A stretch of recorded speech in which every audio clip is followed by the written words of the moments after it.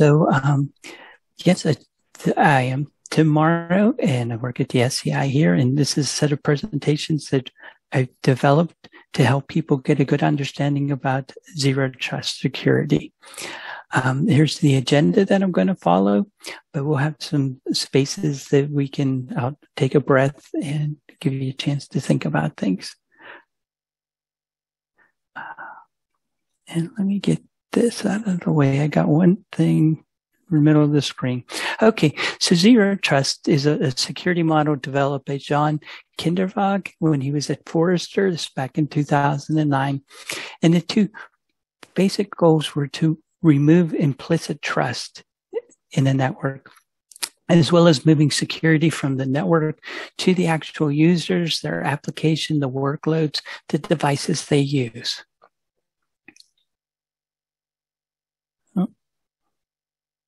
Okay. Um, here's some additional principles that we are very important to please keep in mind. So you want to be sure that you, any ac- any resource that is tried to be accessed can be done securely. So you focus on a least privilege strategy. And the other thing is a strong emphasis on access control. Another, the, the tenants for zero trust is to inspect and log all traffic.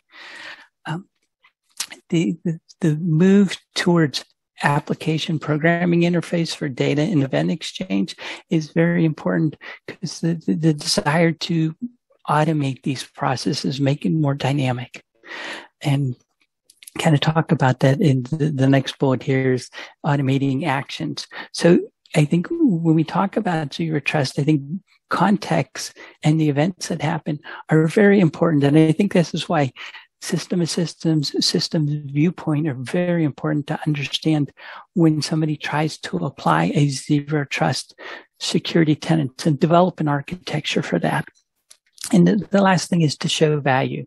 So a lot of our customers are DoD and um, federal agencies, but also commercial organizations. And so I think this information will be helpful. And I think some of the the, the um, we're going to talk about it as your trust journey, an approach that we're developing to help transition and get people thinking about zero trust. And uh, one of the key things that we always know is we have to show that value.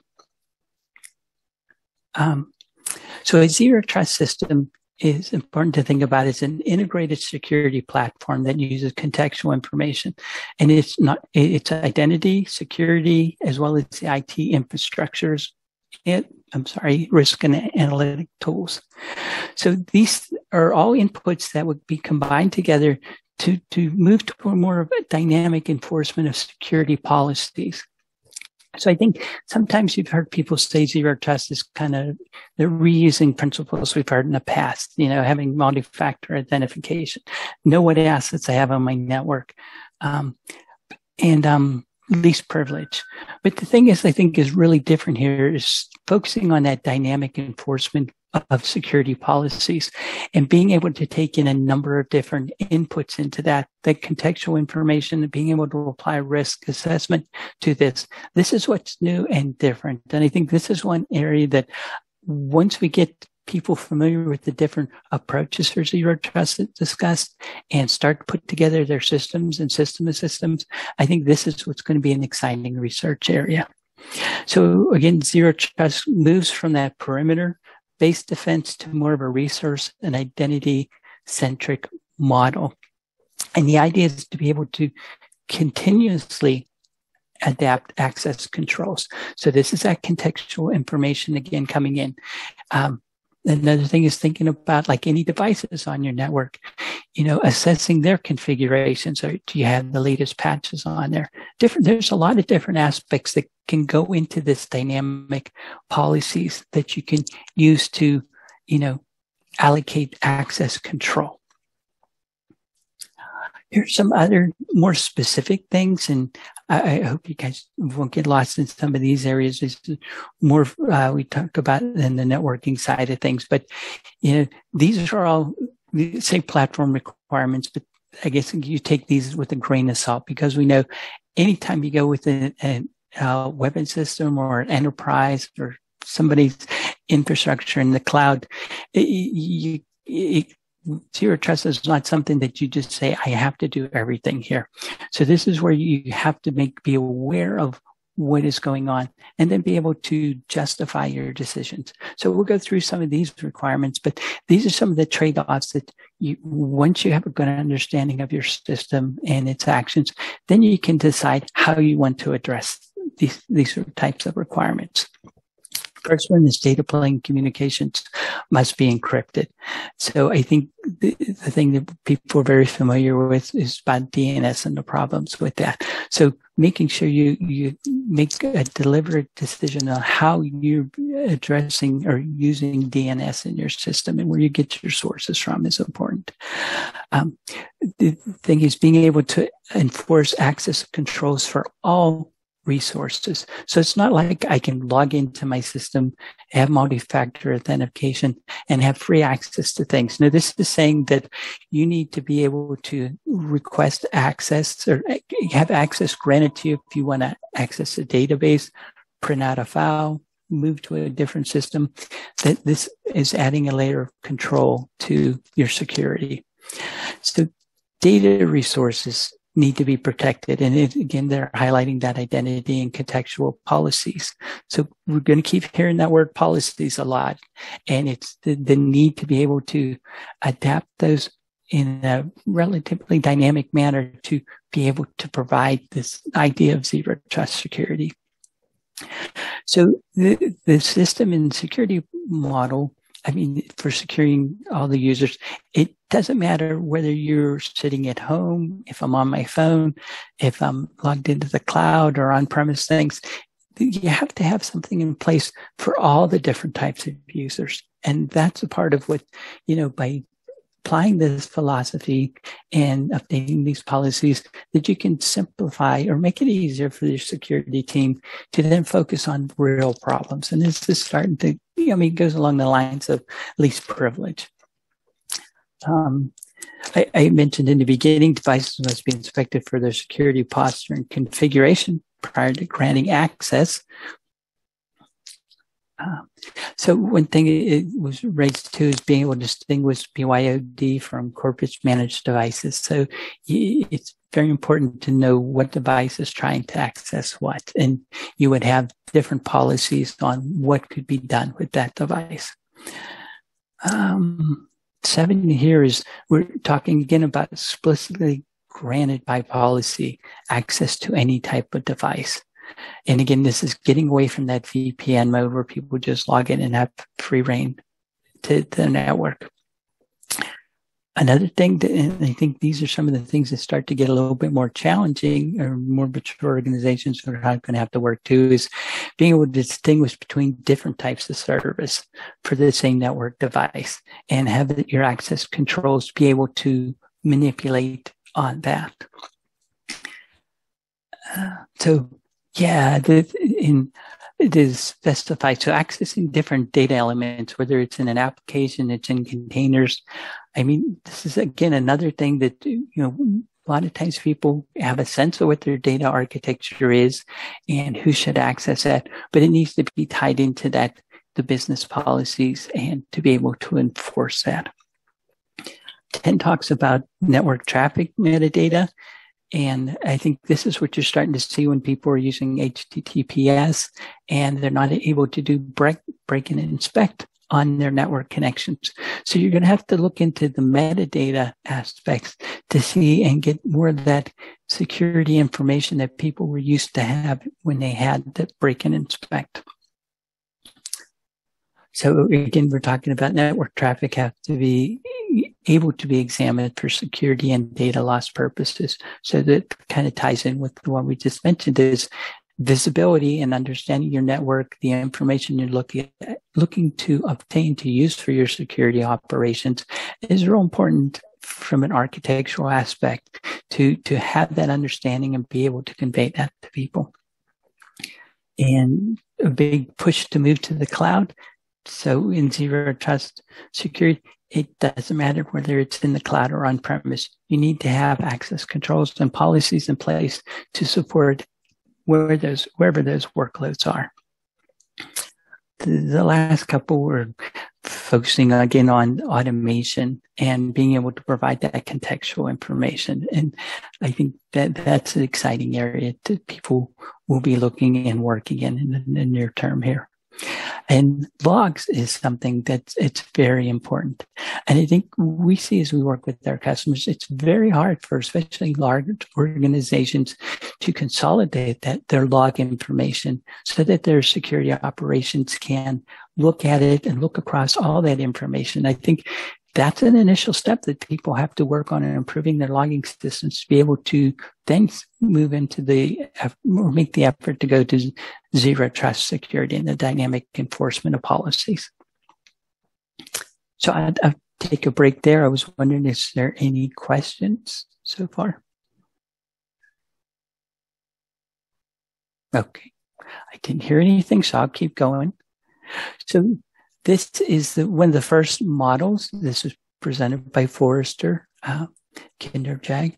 And you can see the focus from their point of view was on data.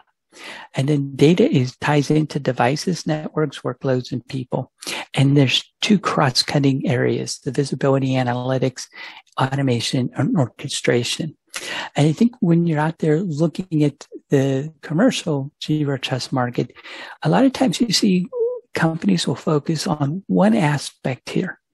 Or maybe they're starting to move towards two about the data or the networking and segmentation, you know, um, access through the cloud and understanding that type of stuff. And I think this is where the challenge is for an organization is to think about the strategy of how they would apply zero trust because you're not going to be able to go to somebody commercially and say, I want you to do zero trust and here's my enterprise. Go do that. You, you can't buy that right now. So you as an organization are going to have to have an understanding and have this information so that you can make reasonable decisions. Uh, NIST has um, 800 207 is their zero trust architecture document. It's very good. I think we, I have references at the end of the presentation, but this is a good one to if you start to cut your teeth about understanding zero trust.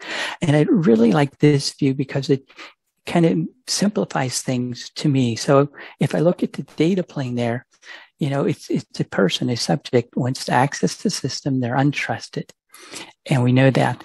And there's a policy and enforcement point there that's is either going to be act just like a gate, either it's open or closed. And if it's closed, then I, I that person is trusted and can access that resource device.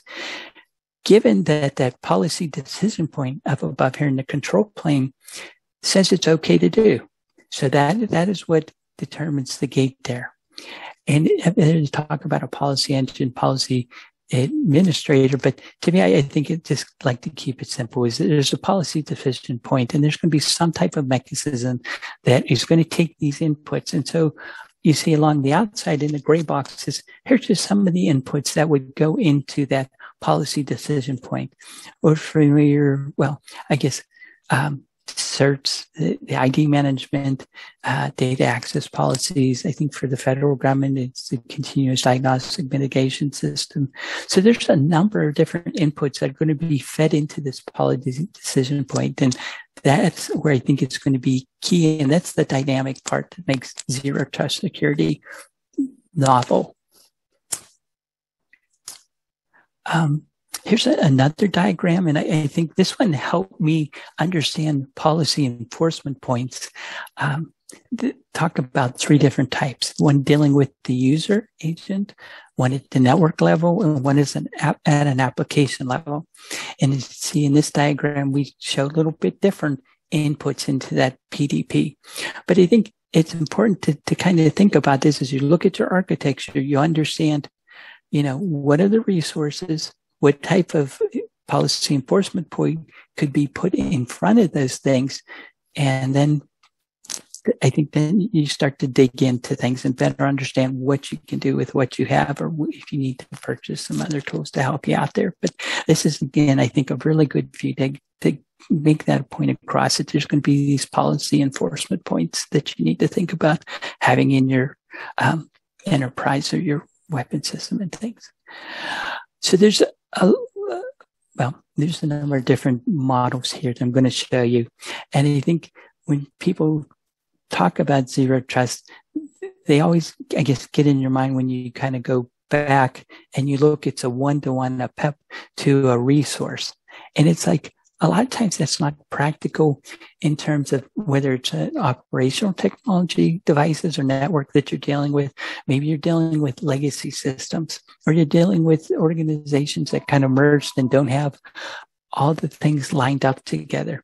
So you have to have in your mind, well, what am I okay with being comfortable with for an implicit trust zone? And here in this diagram, it shows a PEP talking to just one resource. But if I go to the next one, here I, it's you think of it as an enclave. Then you start to think about, well, I have multiple resources out there, and I can only have one policy enforcement point in front of it. So I need, from a security and risk point of view, think about, am I comfortable with this, or what do I need to do special in these types of engagements for a, a resource enclave like this? Um, there's a model that looks about expanding further and making use of the cloud, putting that PDP up in the cloud. And there's commercial products that give you that capability. But sometimes I know we have customers that they can't go out to the cloud. So it's a lot about understanding what environment you you can work with what tools you can use. So this is one that's more looks for those people moving to the cloud and can act, take advantage of those capabilities. Um, another one here is dealing with micro segmentation, and that, that, gets a lot of discussion in the zero trust strategies. Is how you segment your networks and being able to break it up to kind of reduce your risk. And again, you're thinking about that that horizontal access that somebody can get an intruder can get into your network. Because they talk about north south is how somebody can get in. But once they're in and they start raising their privileges then this is where the segmentation is really important to keep people isolated. So this is another aspect people need to think about when they're considering zero trust the, the NIST document 800-207 on zero trust architecture identified these seven threats. And part of our research, we're going to be working to expand upon these and make these clearer to people. But I thought it was really nice to, that, you know, they gave us a good starting point here. I think looking at the number seven, non-person entities. I think that was a new term. And it, those are the things in, like devices in your network. So it's not just people that you're looking at. You're looking at, you know, it's the phone, it's the printer, it's the server. Thinking about that is what a non-person entity is. Um, but yeah, I think those risks are good. And here's some of the, the possible mitigations and things like this. So I think this is good reference for y'all to look at later as you think about these things or consider this for your use. But I thought it was real handy to put it in here and make available to you guys. Um, but I will pause again. Was there any questions or anything? Okay, I will keep going then. So this is the part that we are working on. My team is is focusing on, well, it's one thing that there's a, a standard out there and there's guidance. There's a lot of, I have, I've run across at least four zero trust maturity models that people want to, you know, assess themselves against to see, well, how am I doing in terms of security? But there's a, a real lack of any implementation type of guidance or how do I get started on this stuff? And I think this is what we're, we're developing what we call our zero trust journey. And we talk about the need to have these four phases. But then another important part of my job is to help assess things. So um, I focus on being able to do an assessment across any of these phases to give a good understanding and having the right information available to be able to make that assessment. So I think th- this is where we try to bring a little bit of different perspective because we focus on acquisition and getting the right requirements and understanding what should be when you purchase services or systems and things, what you should have in there in terms of the documentation or in terms of technical requirements. But the acquisition is the key part as well as the technical decisions that you make. And um, developing the appropriate documentation to support that is key. And that's with the engineering assessments. We try to show that as cross cutting. So the, the um, prepare phase, I think we've had a lot of experience with um, CMM, CMMI, RMM, or a number of different models that have come out of the SEI that focuses on you have to build that support, do your work up front to be able to, to, to get you in a good position to transition to a new strategy like zero trust. So we think th- there's an emphasis on, on identifying what is your strategy as an organization. I think people are starting to realize that zero trust, there's not going to be just one architecture out there that can be used by many people. It's unique for each organization. And I think this is where strategy is very important to understand what is important to you. What are your missions that you need to accomplish? What are the workflows? You know, what type of staff do I have? My capabilities? Am I going to do things in house? Or am I going to outsource it? Those are all things that have to go into that strategy. So it's good to get us started on thinking about where am I? What are my capabilities as an organization? And that, that's what that step is deals with. Infrastructure is like to say that's your as is. You have to know what you're working with, what you have currently. And then down in the roadmap is kind of I want to have a plan for how do I get to where I want to get to. So that's my to be architecture. And the roadmap is the steps that I want to take to do that. To be able to do those things, I have to have a good understanding of my budget and what I can do in the time frame I have, as well as you have to provide good evidence and obtain that executive endorsement because just trying to be a champion within an organization, if you don't have that top cover and don't have that funding to support it, it's going to be a real struggle. Try to make a change. So we think these are all important and we're, we're in the process of, um, we have a blog coming out as well as a podcast that kind of talks about the zero trust journey and provide a little bit more detail. But hopefully you guys will look for that in the future here. The, the next phase is called is plan. And so normally organizations recognize the need to do asset inventories and data inventories. And that, that's good. Those are challenging already, but that's not enough. And so we are talking about adding three additional inventories in there dealing with subjects. And those are the non-person entities as well as the, the people themselves, getting an inventory of who's doing what on your system. So that gets you down into that workflow. And then the data flow is dealing with, okay, I, I know what data I'm using in my system, but how is it used throughout that system? So that kind of ties in with the workflow, the mission, and making sure that you have a good understanding of what my end products are and what it took me to get there, all the things that I needed to access. So that is something that we know that takes time. So I can't do all that before I take the next step. No, this is something that you, you have to get people to understand that you need to get this information. And we talk about doing pilots and things like that. And that, that's in the next step. But it, it, I, I just want to stress here, it's important to know that you need to start to do these things. System security engineering. This is where I like to look at the NIST 800 160 and the volumes one and two. I think being able to make decisions and um, understand what you want to protect is key. And I think that document is excellent. I really like to myself like to use contextual diagrams and use mission threads or scenarios and workflows and figure out, you know, what are my actors? What are those workflows? Who's doing what with what information? And I think we were seeing that this ties in really closely with the DevSecOps type of work that you hear people talking about in agile processes, but having a, a system security engineering approach to be able to look at this, document it, identify your trade-offs and your risks, and be able to make decisions kind of helps you. This is taking that next step in that strategy and roadmap to know where you need to go and what to do next. The, the last thing was monitoring changes. So I think all these things are not something that you do once and put on a shelf. And I think we're trying to stress here, you need to be able to support the dynamic nature of what zero trust is talking about is to be able to monitor when something changes in your inventory and get that, that policy associated with that to be able to feed the policy decision point when you're trying to do that access control for zero trust.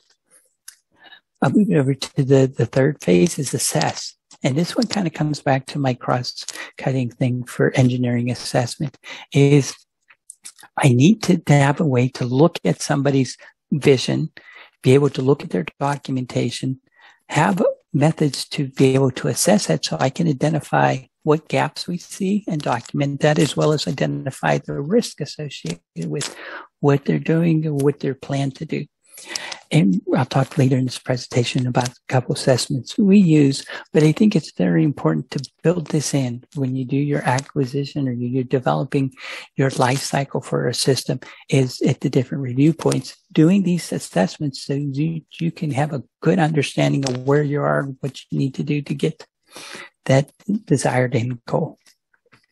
We stress here the idea of doing pilot for these three inventories that I said were kind of special. Um, you don't want to start with the big bang approach on these things. That strategy has to be out there. What you did back in the prepare phase is to think about taking small bites, doing some pilots, and figure out which part of the system do I want to do something. Maybe you want to focus on consolidating your um, identity and access management system so that you can have one place that you look for that. Maybe you want to focus on um, your data and have a better understanding of that or segmenting your network. I think it all depends on what um, attacks, how you've been threatened in the past, and that kind of needs to go into your strategy and your roadmap. The last phase is implement. And so policy development very important i think for in terms of zero trust i've mentioned that a few times now. But that's what you need to be able to have that in a, a way that it can be dynamic and it can feed into that policy decision point. Um, communicate and coordinate. I think sometimes people worry about when you talk of here in the zero trust and worrying about people having um, too much visibility of what you do. And I think these are the things that you want to help your organization understand why you're making these changes, how it's going to impact their workflows, what they can do, where they can do it. And it's not like it's, it's a, I mean, this is a good thing and it's helping people understand why it's good and why it'll make their life simpler is important. So I think that's a message that we want to get out there. The deploy and the operate is again taking your 2B architecture and plans and having, you know, the, the plans in place to deploy it and be able to operate and be able to monitor that, monitor that information. So identifying those metrics that you want to use to see how well you deployed, how well that implementation is working is very important. And change management is always something you just you have to have in this process because things are going to be changing dynamically. So having a very clear process of how you do that, who can do what in that organization is important. So in my world, this is my journey that we're going to be working to expand, provide examples on. We're going to have a white paper here. I'm hoping uh, if I start a fall that provides more examples besides just what I talked about here. But I think this is really the area that people need to think about and to, to help them figure out where they want to get to here are um, some of the things that already exist. So a lot of times you don't have to go out and buy new things. These things exist in your system. So it's neat to see once you have an understanding what is your system and then what aspects of zero trust you want to focus on the tenants, then you can see what you can do. So this was just to give people an idea that, oh no, I, I don't have to go out and buy a lot of stuff. A lot of times things are in place already that you can work with. I'll take another pause there. Oh, I do see there was uh, something in the chat. Uh, I guess I can just do that. Oh, okay. Cool. Thank you. That was very nice of you. Thank you for putting that there. Okay, if there's no questions, we'll keep on going and then we can talk at the end. questions. So one thing, we have a lot of different customers at the SEI. So we work with the DoD, we work with federal agencies, we work with commercial. And so me, I like to, to, get, to do a mind map to help me understand what it is because each customer is going to be unique. And so I, I want to see what are those things that are, in, you know, making an impact on how I make a decision how to help somebody, you know, provide that transition, figure out what works for that organization as well as what I need to do to assess it. So OMB has some very good um, memorandums out there that, that, are driving the federal agency. I think that you guys heard about the presidential executive order and OMB put out M2209 is specific guidance for federal agencies of how they want them to move to zero trust and coming up with plans in a two year time period. M2231 deals with logging and there's a lot of um, there's a maturity level associated with logging, four levels. And but you really need to be moving at the more mature levels of logging to be able to even start to think about applying some of the zero trust tenets. So those are two very key ones that I think from a, a federal agency point of view, people need to focus on. Um, I look down, DoD has some very excellent information about their zero trust reference architecture. It is very specific and it helps you understand what actions that you need to be taking. And when you look at zero trust, I think it's an excellent resource for people to look at. I think we've mentioned several of the NIST documents already. And um, CISA is the, is the uh, government's um, for Department of Homeland Security. This is their cyber group that does their protections. And there's a number of great documents out there helping organizations that even commercial ones can take the look at the information that's being developed to provide examples and apply those type of things. So what we're going to be doing in later this summer is we're going to be having an, an SEI Zero Trust Industry Day. Where we are going to take um, two of the OMBs, the two that I mentioned there, the M2209 and the M2131, and we're going to develop a scenario that we're going to ask organizations to develop an approach that they would recommend for an organization to transition. And we're going to put in there like a budget and a time frame and very specific requirements. So we're trying to get to the point where we can have different organizations provide their thoughts on how they would like to help people move to zero trust and addressing more than just you know one area like identity or uh, segmentation and the networks and things like that. So I ask that you guys please keep that in mind as you're thinking about you know how to do and learn more about zero trust in the future here. Um, we'll keep going because I, I know I kind of talk a lot, but here are some of the different maturity models that I talked about. Um, and I think that's the assessment part that you, you, need to understand because if I'm in the DoD, well, there's a maturity model that they're expecting you to get to. And right now out there, there's not specific assessments that enable someone to do that. So you're right now it's, it's somebody with their expert opinion looks at the model, looks at an implementation and makes a judgment. And I think that's where we want to, to tailor some assessments to be able to do this for the different organizations. So to be able to do that, you have to understand the different maturity models and understand, well, what, what's the point of emphasis for these different organizations? So I just listed a few of the different maturity models here. I won't tell you about, you know, the specifics of them, but you'll have, this is another resource. I think the, the DoD, they kind of pulled the visibility analytics and the automation orchestration up to the same level as the user device networking application and data. But, you know, it, it's still, I think it's very good information. And I think it just depends on who you're talking to, what you're looking at for the maturity model, what you need to address. Um, yes, here's another one for theirs. NSA has a version for what they are looking for too in their customers. So I think this is getting near the end of my talk, but so we talk about different types of assessments and like to think of it in terms of a, a health check. We have something called a, and people can look at these to get an idea of the type of assessment here.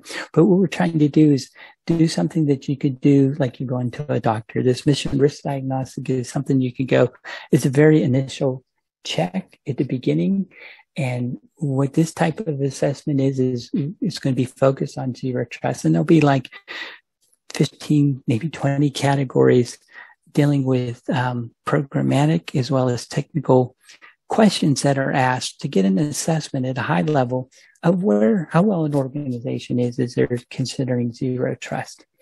And based upon that, we have two next level assessments that we use. This, the SERA, the security engineering risk analysis is one that makes more use of the architectures, the workflows of scenarios and mission threads to be able to, to look at the interfaces, look at the people, the actions, and identify risk from more of a technical point of view. Over on the right side, there's the cybersecurity engineering review.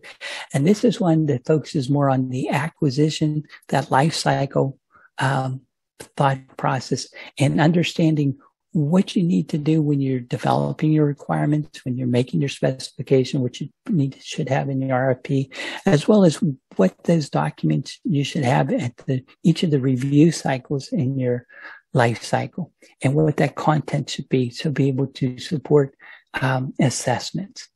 And then both of those let us go down to do, you know, you can find where somebody might have a problem where you need to do code analysis of vulnerability assessments, penetration testing. So this is just kind of a, a my slide for how we do assessments and what we, why we think that you need to have something in these areas to be able to transition to a new technology like cyber, the zero trust security. Um, yeah. And so I've got acronyms here and we have the references. So I can leave it at that. Let me um, look at the chat and if it's all right with, um, okay, that's good. I don't have to deal with this. So I think I'm going to stop sharing and then well, I, I won't stop sharing in case somebody has questions with a slide or something like that. So I just wondered if I could check if it's good with you, if we could open it up to questions and yeah, uh, let's do that. And I maybe we could get get rid of a few that were uh, typed into the registration system first. Okay. Would that be okay? Yeah, that's great. If you wouldn't mind reading it to me, then I'd be happy to. Yeah, and may, I had a couple similar. Uh, one from the, the, defense industry, and another one from uh, transportation, uh, public transportation, and infrastructure but they're both wondering at how how does does cybersecurity affect them? Uh, for example, in uh, if you're a, a, systems engineer working in um, in the defense industry, uh, what what types of things would you expect to come your way, and what how would you possibly need to change uh, how how you're doing your job and how how how does it affect your organization, your company, and then from the in this in the same way, if if you're for example working in the area of public transportation, uh, could you, could you kind of compare and contrast how uh, cybersecurity uh, might be managed differently, and uh, you know what are what are some of the important things uh, in those industries and what might be different. Okay, sure. No, thank you, Jack. I appreciate that.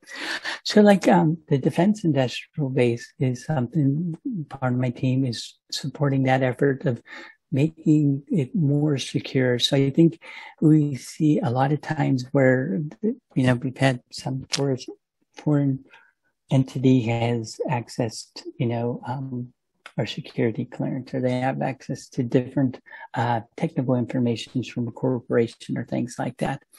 So th- that is where you start to think about, well, the things that I've kind of talked about you know, understanding your system, where your inputs are and things like that, and to securing like how you can access the system. Because a lot of times these phishing um, emails, somebody clicks and that allows people to get into it. So it's, that's one part of the, the, the security concern is you're trying to improve the, uh, making it harder for someone to get access to your network. You need to think about segmenting your your network or your enterprise to limit how people can get into that's another thought process. And then the supply chain aspects of things. What goes into what you're producing or what you're making that's another key thing that you have to think about and consider the risk associated with that. You have to know you know what you're dealing with. What are the sources you know what the, the software applications you're using? Where you're getting this information in these devices. I think those are all things that you have to think about from a, like a defense industrial base and consider those as threats or risks that you want to mitigate when you think about a zero trust, taking a zero trust uh, approach. From a transportation point of view, so I, I years ago I used to do um, commuter rail systems for a company here in Pittsburgh, and we had onboard control systems and we would communicate with the tracks and you you have a, a number of different it's more um, safety critical aspects of things. So you're trying to think about I, I in my mind i always thought about like how the door opens. You know can you do certain operations? I think those are the things that you need to look at from a security point of view because there's critical operations that you know that you need to address, but documenting them and figuring out how they could possibly be attacked is really important. So that, to me, that's a little bit different when you take in the, the safety critical nature for some of those things like that is that documentation and making that clear to people and then showing how you are addressing that or what you're doing to minimize your risk. I think that's very important. And so that's zero trust kind of plays in that because you're looking at specific actions that you need to account for. But how you react and how you can support those actions, that's what that zero trust policy will help you improve the security. So I hope that addressed that that question. Yeah, I think so. And uh, if if if uh, anyone wants to to uh, expand on that, feel free to raise your hand or speak up. Um, uh, let's take another one. Uh, this is from Sabi in France. Uh, what what do you feel are the the main uh, principles for, in a nutshell, for assuring uh, cybersecurity? So um, I I like to think so. I, I I'm shooting for a different model, and we see this talked about in like the the agile world when they talk about DevSecOps and the the idea of a continuous authority to operate. So in that world, they want to be able to say that I've got my security in place well enough that I can I'm continually looking at it for that pipeline that I use to develop my software. And I think we need to apply that for our enterprises and our systems and things. So to do that, I need to have a good understanding of what I have, what are my assets, my data, how am I using that information. I think that's very critical in what you do. I think the access part that we've talked about earlier and focusing on that least privilege. So those are two key things that I think, but I think thinking about the things that you have to do for the security systems. So different organizations have different compliance or requirements that they need to meet and thinking about what would make that life easier?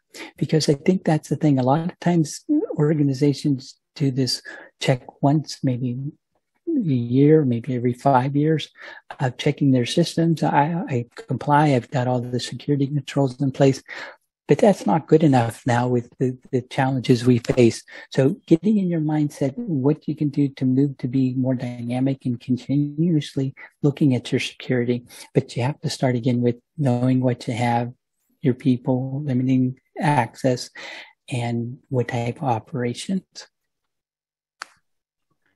So more of a, a continual um, learning and improvement. Absolutely. Process. It's a it's a process that's ongoing. Uh, here's one from Lewis in Georgia, and and he's was asking about blending uh, systems engineering and cybersecurity. Uh, and in one area that, that I spotted was was how 15288, uh, mm-hmm. uh, which which is the standard that our INCOSE handbook is is based on.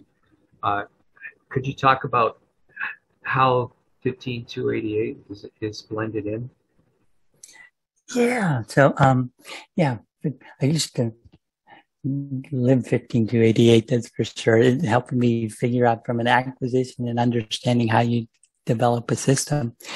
And I think that's where looking at 800 160 for the system security engineering aspects 15288 gets you a good understanding of what all you need to do for that life cycle from an acquisition a technical and a support point of view.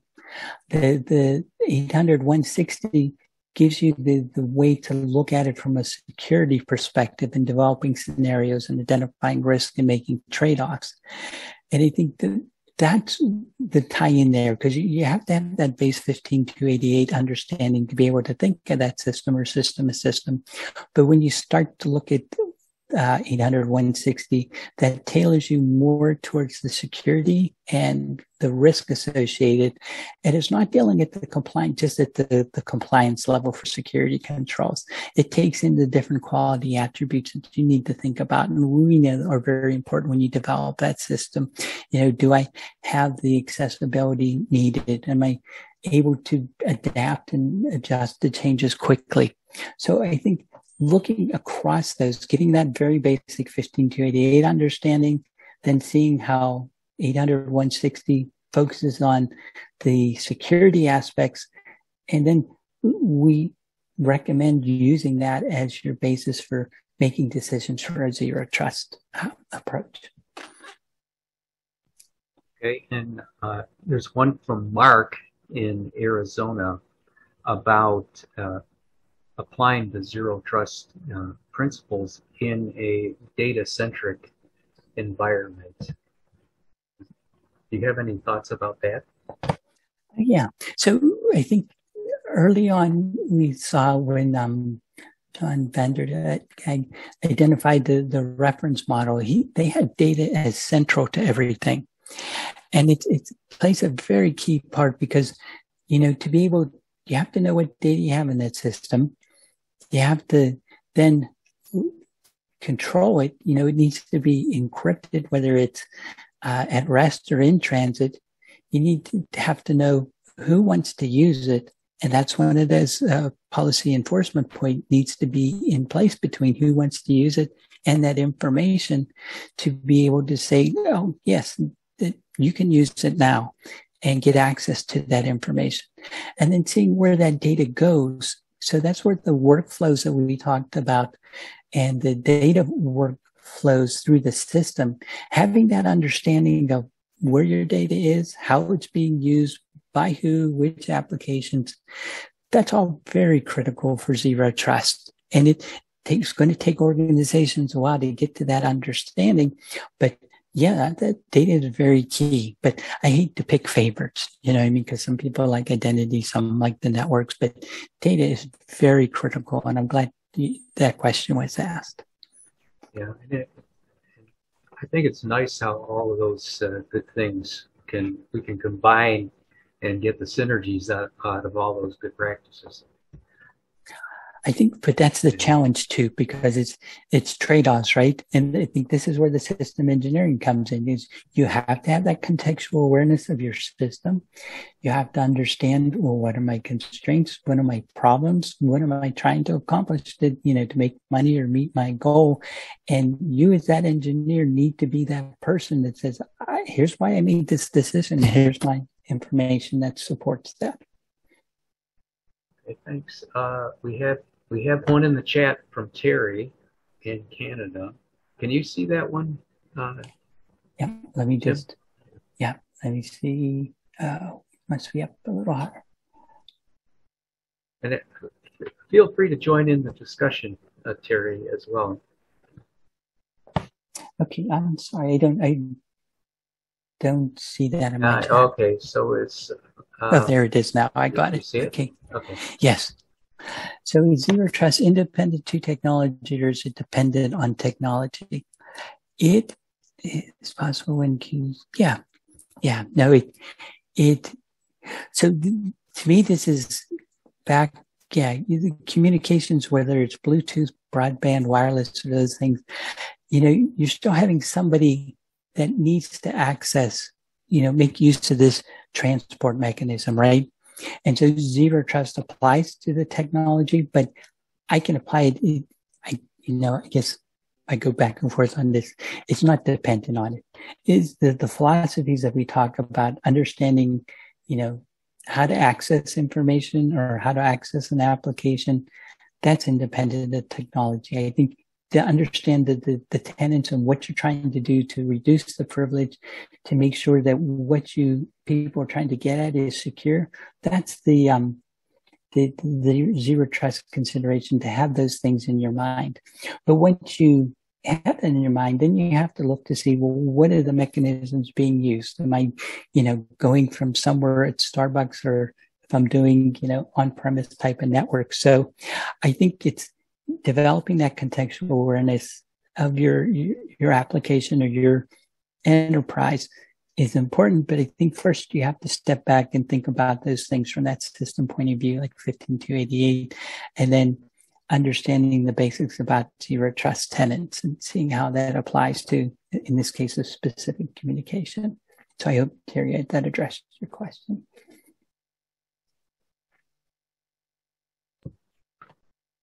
Great. Uh, I, I think we've covered all the questions, uh, but we we have a bit of time. So if, if you have a question, please uh, speak up now. No, yep, you're welcome. And, yeah, I I think we've uh, about covered it, Tim. Oh, that's good. No, I appreciate everybody taking the time to to, to listen to this. I, I will say again, please look for more coming out in our area. We're going to be putting um, blog posts out. We're going to have a podcast on zero trust journey. I mentioned the industry day that we're going to be having where, you know, once we get these organizations, we're hoping that they'll do a 30 minute presentation as well as some of the artifacts that they used to develop. And what we will do with this, oh, as well as we're going to have some keynotes and panel discussions, but we will be developing additional papers about identifying best practices and different things to people. So, and then we also have a white paper that's going to come out that provides specific examples too. So there's more coming out in this area. So I appreciate if you kind of watch out for us, but thank you for the opportunity to talk to y'all. So thank you very much, Tim, and thank you everyone for attending. Uh, so with that, I think we'll adjourn and thank you. Thank you very much.